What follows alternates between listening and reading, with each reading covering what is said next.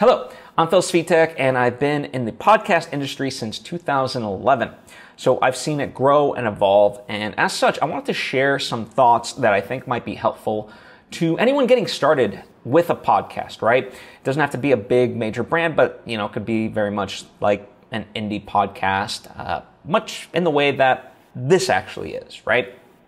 And so, um, wanted to share those thoughts. Now, First off, yes, in the past couple years, there's been uh, an uptick in podcasts being produced.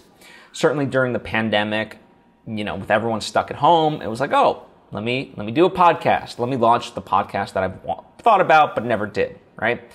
And you know, now that we're quote unquote back to normal, uh, many people have sort of gone away, but still. Um, there remains this idea that like, oh, everyone's doing a podcast Therefore, I shouldn't jump in on that because what's the point? Well, the point is, it's as if you're saying, well, people have written books before, therefore I shouldn't write a book, or people have made music or, you know, movies and so forth, therefore I shouldn't make music or make a movie, right? It's the same thing. As long as you have something that's worthwhile to bring to the table, then yes, if you want to do a podcast, you can certainly go ahead and do a podcast. That is my principle. Now, you know, uh, part of that is also, well, what do you talk about? Certainly there's many, many topics and you might be inclined, well, other people have already touched upon these topics. The thing of it is, the messenger is equally, if not more important than the message.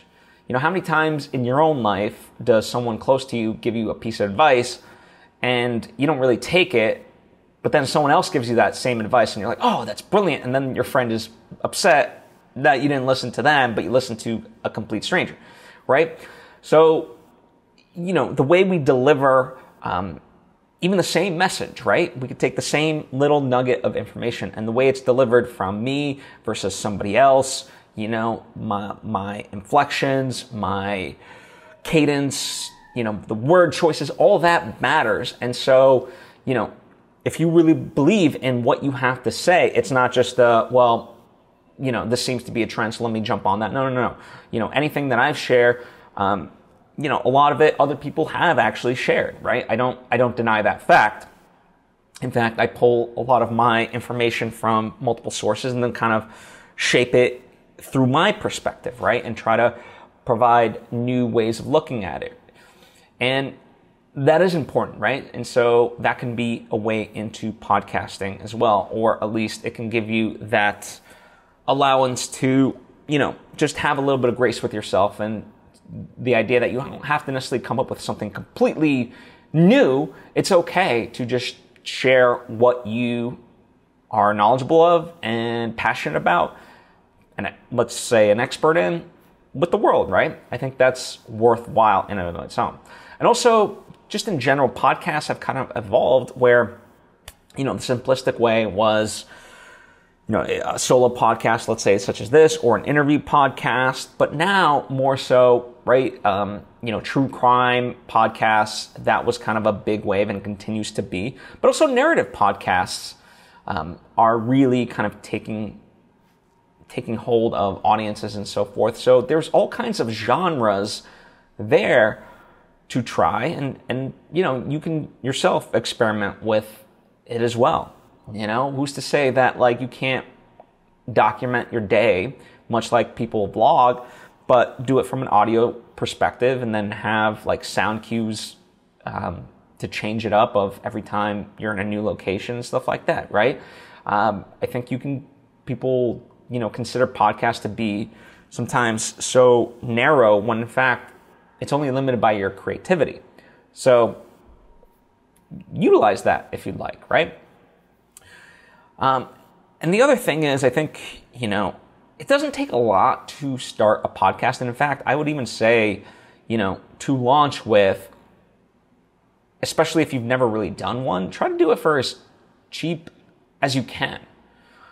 Because you, who knows, like, you don't want to spend all this money even if it's just a couple hundred bucks here and there on something that like you're just gonna put down after a few weeks.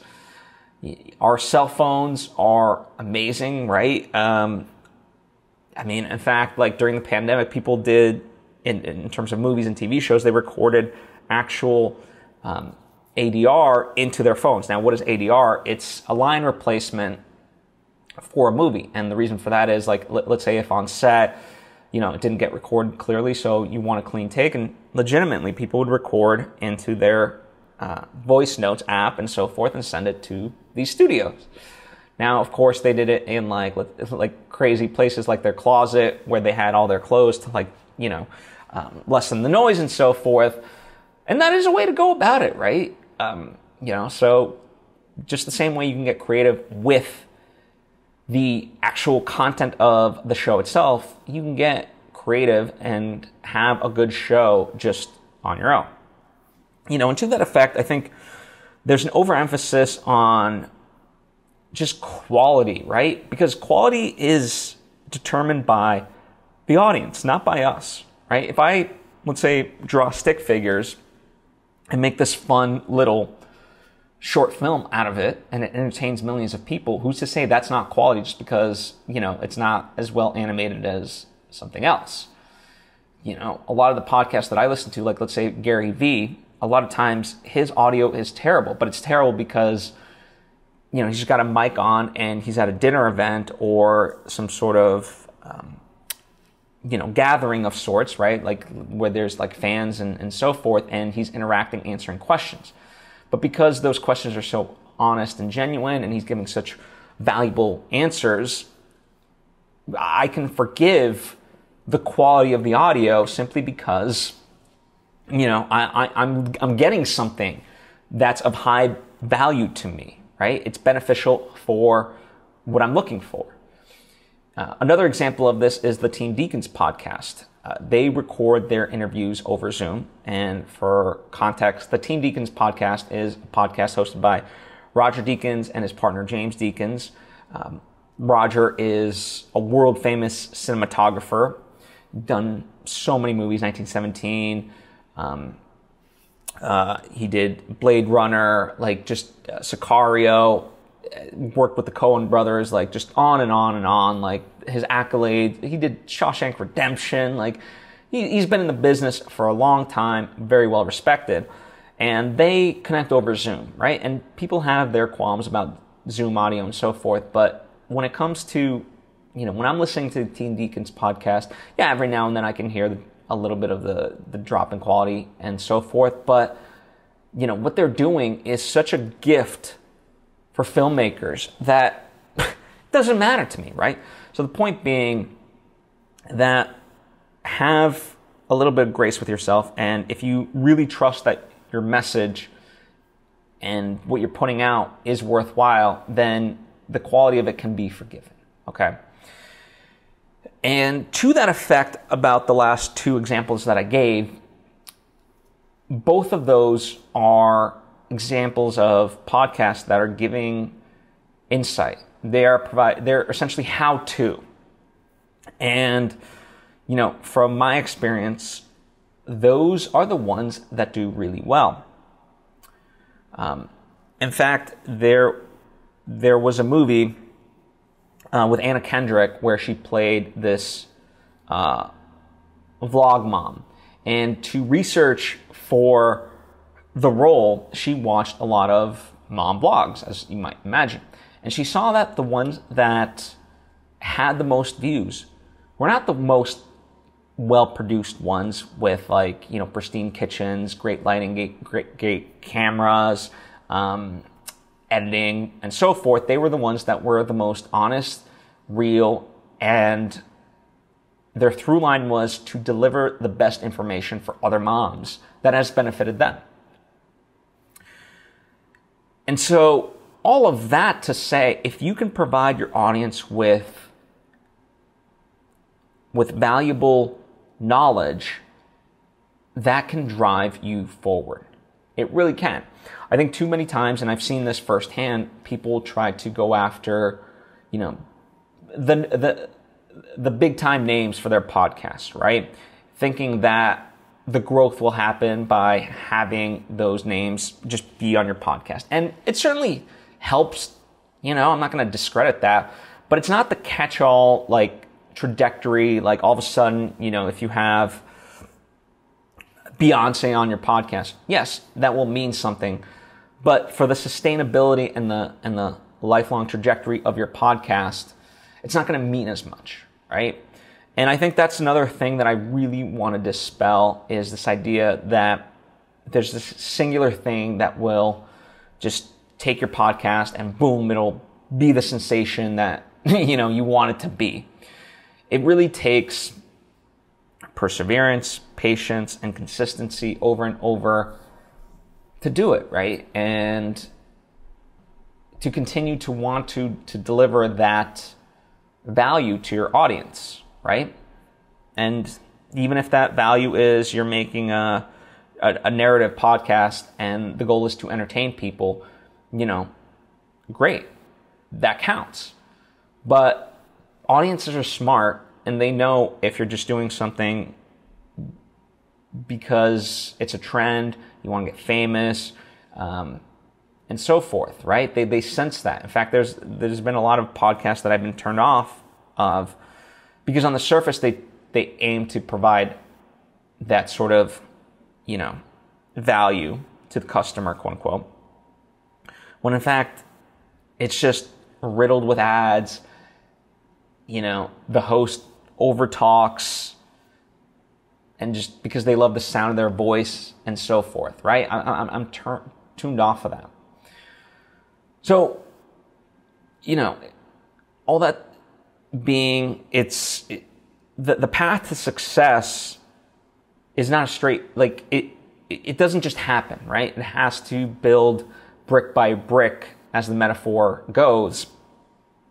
And also, you have to define what success is for you being candid, I know my stuff is not the most like viral and I don't know that it ever will be. But that's okay because for me, the connections with the people that, that do consume the stuff that I have, there's a value there for them. And, you know, for me, my through line is essentially like whatever my interests are and whatever has benefited me, I try to put out there.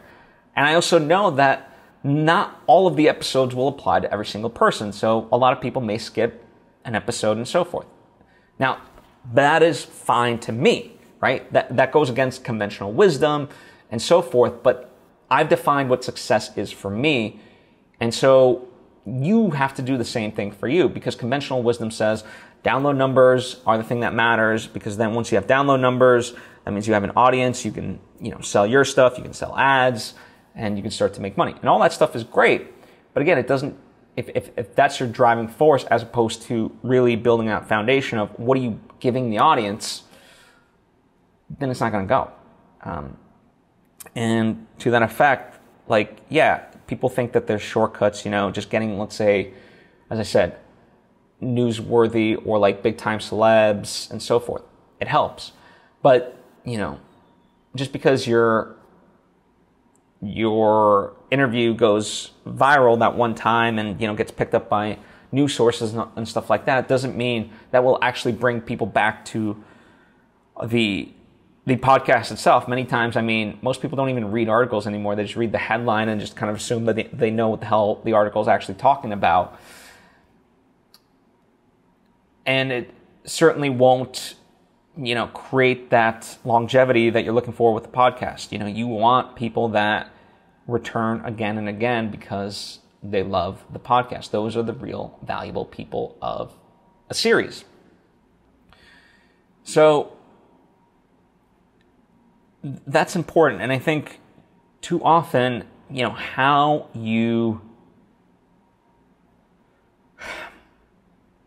spend your time and your resources which also means financially, is important, right? I think I, I, I've seen so many people put their money into the wrong things. And that's why I opened up talking about the quality of the show being subjective and, you know, that's like I, I've seen so many people put an overemphasis on all this equipment, building out a studio, having all this expensive video stuff and so forth,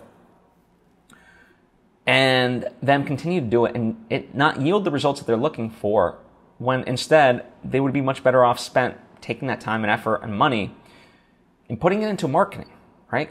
Creating great episodes of high value, um, you know, reaching out to iTunes, Spotify, and so forth to promote it that way. And then also, you know, spending on ads where appropriate, making appearances on other podcasts that are similar, where you can also bring high value and, you know, um, introduce their audience t- to you, and so forth. Like, there are ways to go about this, but it takes effort, right? And, you know, some of that is also, it, it, it's always uh, like anything in life, how you going to divide it, right? Like, we're all limited on resources. You know, we would all love to have so much more than what is available to us in terms of time, money, and other resources. But it just takes time. And I think, you know, in that way, identify what are the, the, the biggest levers that you can pull to create the maximum impact. And then as the show grows, yes, you know, then you can add more bells and whistles to the thing. But as I said, too many people put that overemphasis out of the gate they overspend and then they're frustrated when it doesn't go the way that they hoped and then they abandon it, right? So if you just do it from a pure place, like, I mean, I can look at, let's say, the Smartless podcast, right? Huge, huge podcast. And yes, from the outside, and especially now, you can look at it like, oh, it was always going to be successful. Well, you know, those guys didn't think so. It's, you know, Jason Bateman, uh, Will Arnett, and, and, and Sean Hayes. They were just looking for a project to do during the pandemic, wanted to kind of get together and create this podcast, right? And, you know, it was, it's a, it's a sensation. It really is, right? Um, but they weren't expecting it. Same thing with the Team Deakins podcast that I keep mentioning. Like, they they were a podcast born out of the pandemic, and they just wanted to interview amazing people and talk about movies in a very in-depth way that isn't seen or, or heard much, you know? And they did it. And it was successful. It, and people were talking about it and, and, and people were loving it. And so it was this organic thing. And then, you know, now they have a season two of it, right? And we'll see how long season two goes. And then you know, I'm sure when Roger does another movie, it'll be put on pause, and then season three comes out. But even if it doesn't, like, it's just brilliant, right? The the fact that like they just had this idea, they didn't know where it was going to go, and they give it their whole heart in, into it, and and are seeing the success from the fruits of that labor. And that to me is how you grow the podcast. You know, you you do it from a place where yeah, part of it's you define what success for you is like and slow and steady you build to it as opposed to having these illusions of grandeur and you know know where to spend. And in fact if anything as a rule of thumb almost refuse to spend. You know, how can you grow it in, in, in the most organic possible way? Because money is not a cheat code oftentimes, right? If it was, Hollywood would, you know, with, with all their like mega, you know, multi hundred million dollar movies would never have a flop, right? It just, so in that, that way, I would encourage you to be conservative and just build and build and see where it goes. When you do that, like with these other examples, yes, they're mega examples, but I think you'll be pleasantly surprised. I know I am every time someone just leaves a comment because the comments show to me that, that this person took the time to really listen to what I had to say, engaged with it, found something meaningful in it, and now is responding to it in kind. That's wonderful. So, I hope this gives you some perspective. As I said, it's just uh, an introductory viewpoint into you know, how I consider starting a podcast, uh, the mentality necessary. But as always, you know, you're welcome to ask questions, give your thoughts and opinions. So comment down below, or you're welcome to hit me up on social media at Phil Svitek. I would love to chat with you, and if I can, help you out. Thank you as always. I truly do appreciate it, and hope to see you next time.